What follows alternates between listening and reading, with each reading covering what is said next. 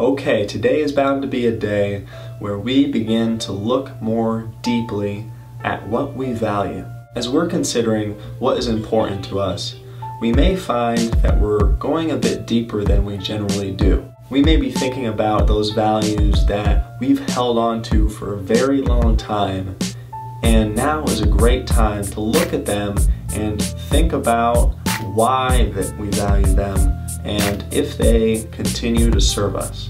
With all of this taken into consideration, today would be a great day to spend with those close to you so that these feelings aren't welling up in a place where you're not completely comfortable and if you feel you need to express them and share them with other people, you feel that you are able to do that.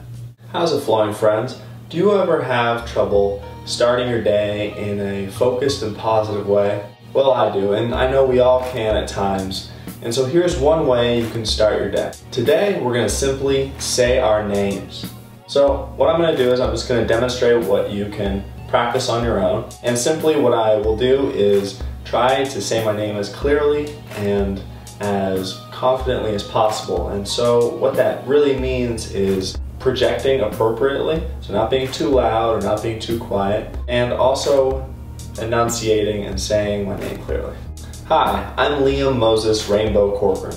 Now this may seem trivial, but saying our names with confidence and saying them clearly is a great way to make a first impression or to come off the way we really want to when we're having an interaction with somebody.